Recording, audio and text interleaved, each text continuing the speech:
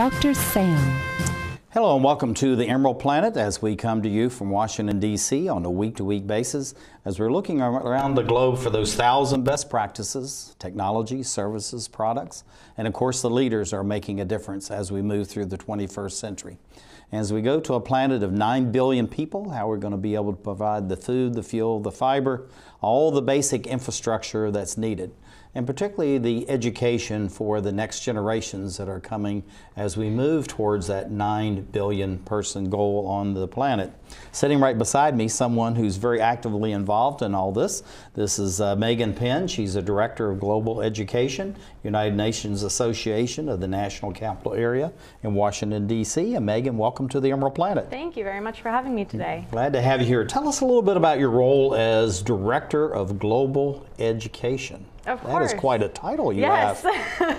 My primary focus is the development and implementation of a program called Global Classrooms DC. So this includes new program development, engaging new youth, students and schools, as well as organizing our annual Model UN conferences at the U.S. Department of State and the Pan American Health Organization. Now, looking at this Global Classrooms DC, tell us a little bit about the, the mission, the vision of that, and then the number of schools that you're reaching out to within the area. Of course. Global Classrooms DC is the flagship education program of the United Nations Association of the National Capital Area. And it's actually part of a worldwide initiative under the, the United Nations Association of the United States of America. Mm-hmm. Um, its primary goal is to engage and educate students about issues that are happening, international issues that are happening around the world, as well as locally, and how the United Nations discusses and finds solutions to these complex issues. Currently, we are, uh, last year we worked with over 3,000 students in mm-hmm. DC, Maryland, and Virginia, and we actually had a delegation from Ghana join us. Um, and this year we are currently over 1,000 students. That's incredible. Now, looking at the aspect that you're in Washington, D.C., which is really important. So, how does that add to and augment what you're doing? You had this group that came in from Ghana. Do you have uh, any other international groups that join in from time to time? And how does it really being in Washington, D.C., really change the dynamic of what you're doing as far as the the National Capital Region. DC is a very politically charged area, as we all know.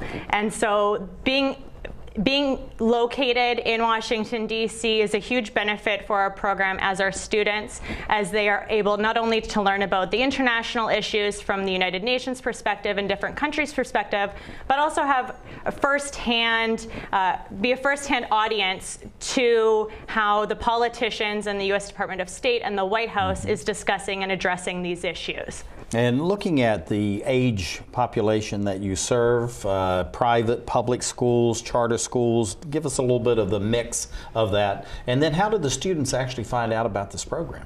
So we work with students from all education backgrounds. Um, what initially started, Global Classrooms initially started to, to help public school students get involved in programs like Model UN, um, which is typically prior to 2000 was not something that they had access to. Mm-hmm. Um, now, Global Classrooms DC works with students from public schools, private schools, homeschooled co-ops, um, different after-school programs, and including some international schools. The primary of our students are still involved in DC, Maryland, and Virginia, um, but that, that is increasingly expanding and we're finding more and more students from around the United States and around the globe are wanting to be involved in Global Classrooms DC and participate in these number of programs.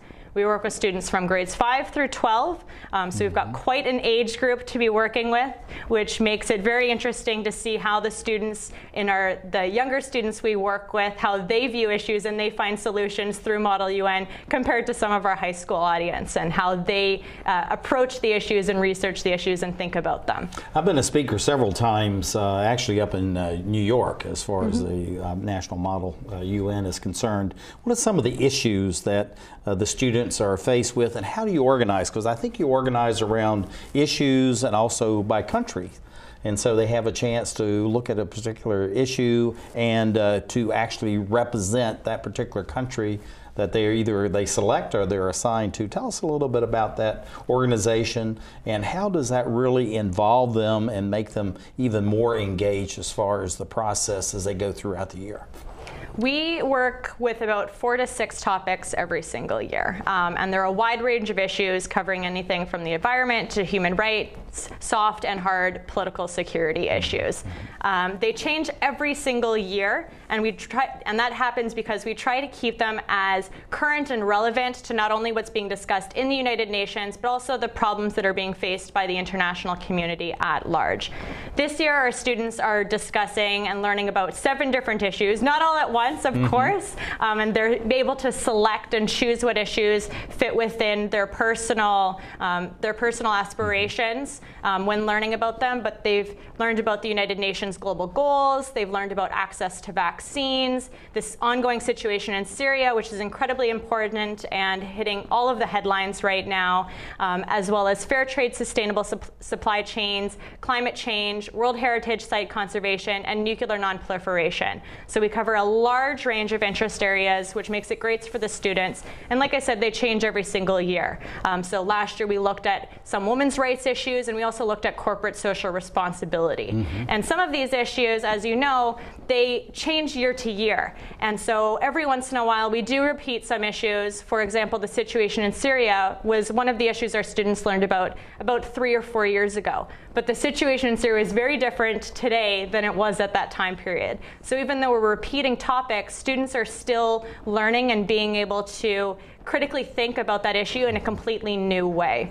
And the whole thing about the environment too, that's constantly evolving exactly. and changing. COP21 in Paris, France, and the World Climate Change Conference and yes. all those kinds of things. Uh, looking at the Model United Nations, this is something that's very prestigious. Mm-hmm. Uh, youth all over the planet, you know, really uh, compete in many countries to be able to get into this. Tell us a little bit about the origin of that, uh, what it actually does beyond the topics and the countries that are going to be represented, but what's kind of the nuts and bolts for the youth to become involved involved in that? And then how do you engage the parents and the community in that whole process?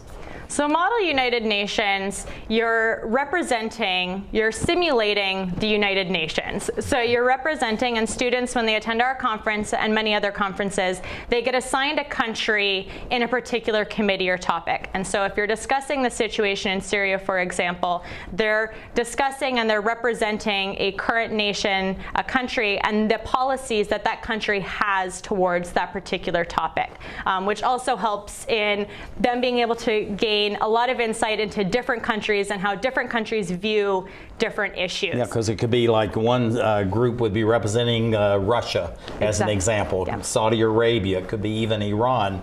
So it doesn't matter what the politics is as far as the UN or with the nation states, as the fact is, these are actors that are very much involved mm-hmm. in that, and then that translates into the studies they have to do. What's some of the feelings about that is that, you know, they have some of these uh, states that say, I don't really want to represent that country, and others will say, you know, I want to have this, and you're saying, this is how you really grow, you learn, and uh, you learn how to express yourself. Even may be a view that you don't take personally, but this is something that you need to learn, and it helps them to be future better diplomats. Definitely, it definitely does. Um, some of I did Model United Nations myself, and some of my favorite countries to represent were the ones that I didn't exactly agree with their politics or their policies on different issues.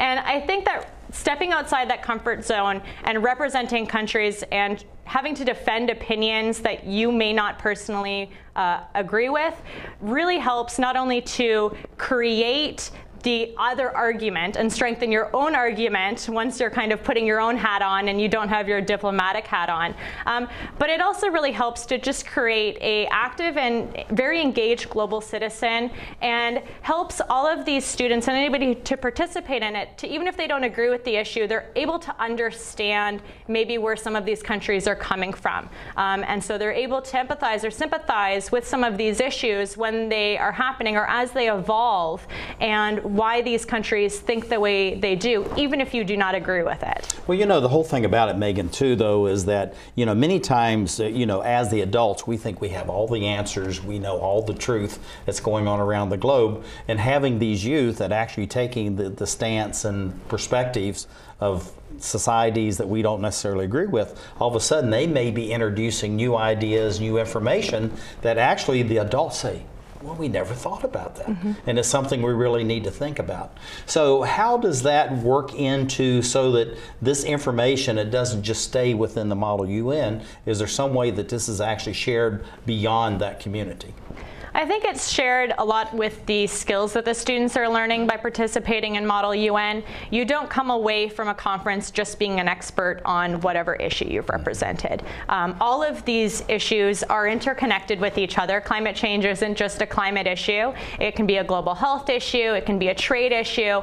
And so the knowledge that's gained from the conferences and the research that the students do to prepare spills over into all these other aspects of their life, not only at a topical issue, but also within a skill set. You learn a number and strengthen a number of skills by participating in Model UN, from reading, writing, researching, critical thinking, negotiation, which can not only help you for college to be better prepared for college, but also the professional workforce, and really helps to you to be remained an active citizen in the global community as well as in your local community. Well, one of the things too is networking is really a key Yes. issue.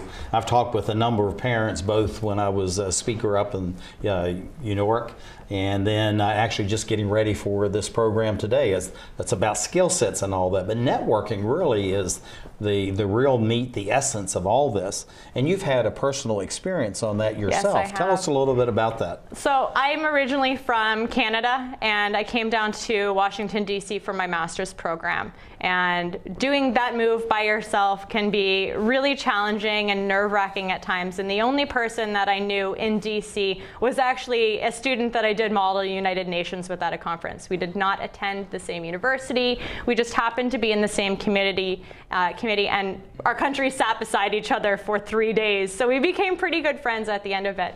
And just keeping in touch with those people has not only hel- can not only help at a personal level for moves, but I've heard of many different friends, and I have many different friends of colleagues who have received an internship or have had a job opportunity because of somebody that they've met who has participated in Model UN. We're kind of like our own alumni group. Um, being in Model UN is it's a lot of work to prepare, and it's a really rewarding re- experience. So a lot of students who do it stick together.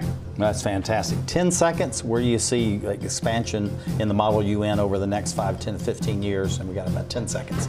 more students are going to just start participating. It, it's really important um, to help with the interconnectedness of the world and the communication for all these issues. Fantastic. Megan Penn, the Director of Global Education, United Nations Association, National Capital Area, as we create the Emerald Planet.